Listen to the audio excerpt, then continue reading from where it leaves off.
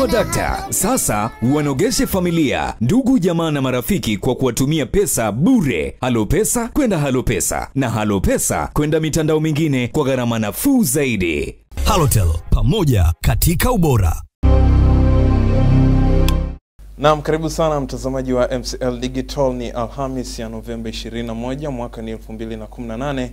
Tunakutana tena katika MCL Matukio inayokuletea muktasari wa habari kubwa zilizotokea siku hii ya leo. Na MCL Digital tunazo hapa na tu tunakufikishia hapo kupitia MCL Digital. Karibu sana, naitwa David Moses.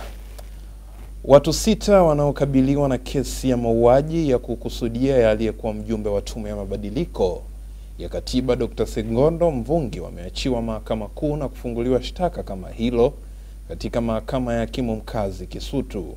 Washtakiwa hao wameachiwa leo katika mahakama kuu na Jaji Sam Rumanyika.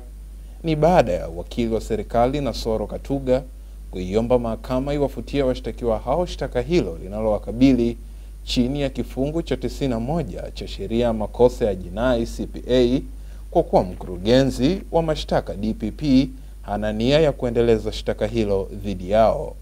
Katika mahakama ya Kisutu, wakili wa serikali Lilian Lwetabula amewataja washtakiwa hao mbele ya hakimu mkazi mwandamizi Agustina Mbambo kuwa ni Msigwa Matonya, Mianda Mlewa, Paulo Mdonondo, Longishu Losindo, Juma Kangungu na John Mayunga. Hospitali ya rufaa ya kanda Bugando jijini Mwanza imepokea msaada wa vifaa mbalimbali vya kupima na kutoa tiba kwa wagonjwa wenye tatizo hilo. Vifaa hivyo vyenye thamani ya shilingi milioni mia mbili vimetolewa na taasisi ya Touch Foundation ya nchini Ujerumani. Akizungumza wakati wa kupokea vifaa hivyo, mkurugenzi mkuu wa buganda Profesa Abel Makubi leo amesema kupata vifaa hivyo vya kisasa vitaweza kugundua matatizo na kutoa tiba kwa haraka na wataweza kuhudumia wagonjwa wengi kwa wakati mmoja. Zinatiba magonjwa ya moyo kutoka kwa wenzetu Touch Foundation ambao ni Wamarekani na tumekuwa nao tukifanya nao kazi kwa muda mrefu kama taasisi.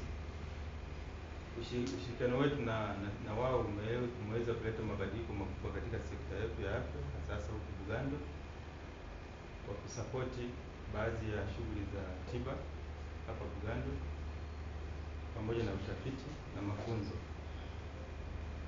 Sasa katika kuboresha huduma zetu za magonjwa ya moyo, wameamua kutusaidia vifaa ambavyo vitasaidia kufanya uchunguzi wa magonjwa mbalimbali, lakini pia kutoa tiba.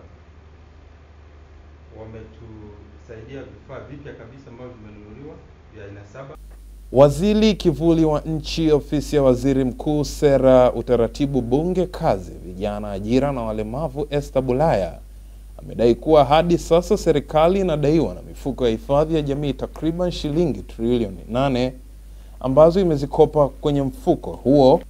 Bulaya ametoa kauli hiyo leo wakati akizungumza na wanahabari kuhusu sintofahamu ya mafao ya wafanyakazi nchini. Serikali ina madeni sugu kwenye mifuko ya hifadhi ya jamii. Serikali inadaiwa trilioni nane, lakini mbaya zaidi, mfuko ambao ndio una wanachama wengi, watumishi wa serikali, PSPF peke yake inaidai serikali trilioni tatu nukta tatu. Na nimesema ishu sio kukopa, ishu kulipa na kulipa kwa wakati, kwa sababu zile pesa sio za serikali, zile pesa ni za wanachama ambao ni wastaafu. Usipolipa ndio mwisho wa siku wastaafu wanaposta wanapo wanapomaliza utumishi wao hawalipwi kwa wakati, wanapigwa danadana. Na katika michezo na burudani, kesi inayomkabili aliyekuwa rais wa shirikisho la mpira wa miguu Tanzania TFF Jamali Malinzi na wenzake wanne imeshindwa kuendelea katika mahakama ya hakimu mkazi Kisutu kutokana na mawakili wa serikali wanaoiendesha kesi hiyo kuwa na majukumu mengine. Kesi hiyo iliyotakiwa kuendelea kwa ushahidi wa upande wa mashtaka leo imepangwa kuendelea Disemba tano mwaka huu kwa ajili ya ushahidi.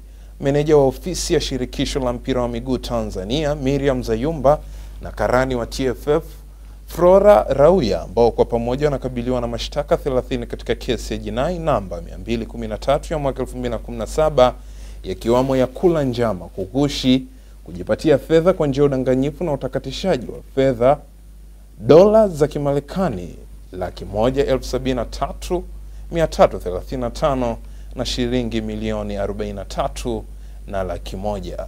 Naam, kwa habari hiyo tunahitimisha MCL matukio kwa leo.